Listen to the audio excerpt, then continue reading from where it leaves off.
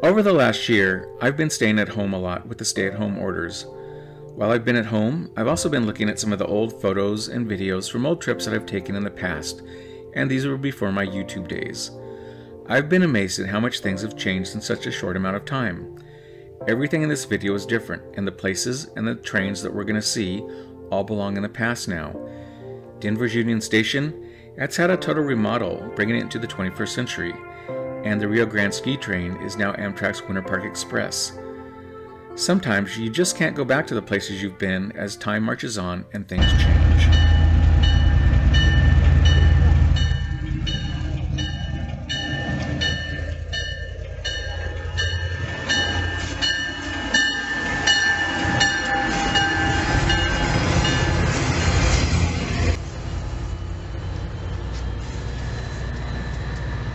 Let's listen to the sounds as the ski train arrives into the station at Winter Park for the return to Denver.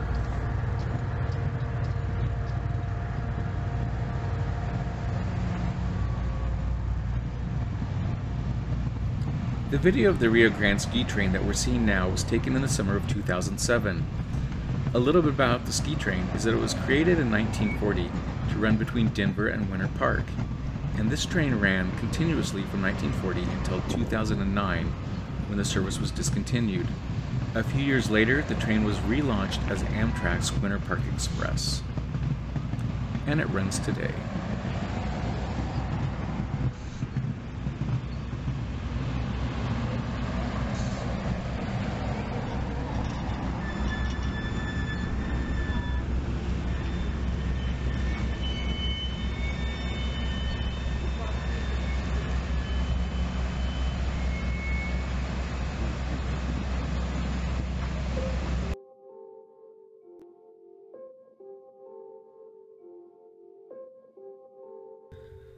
I remember this weekend well, as I was in Denver for a conference. I had a free weekend and I decided to take the ski train up to Winter Park before I flew on to Orlando for a conference the following week. And if you can believe that, after my conference in Orlando, I flew to Napa, California for a water polo tournament. It was a crazy two weeks.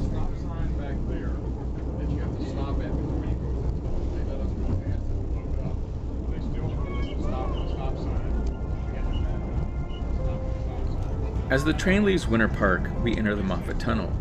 The Moffat Tunnel was opened in 1928 and it crosses under the Continental Divide. It's a 6.2 mile long tunnel and it's the second longest tunnel in the United States, behind the New Cascade Tunnel in Washington State.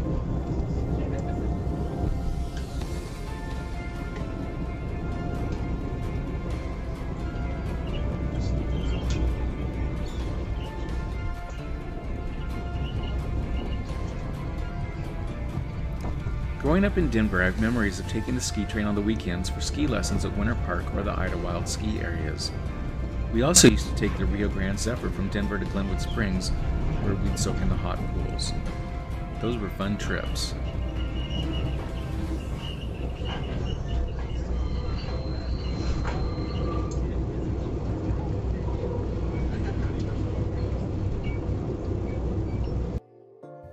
After leaving Winter Park two hours ago, we've arrived into Denver on time. I hope you've enjoyed the video of the ski train. Both the train and Denver's Union Station have changed. That's the name of progress, but sometimes it's fun to go back down memory lane and see what was.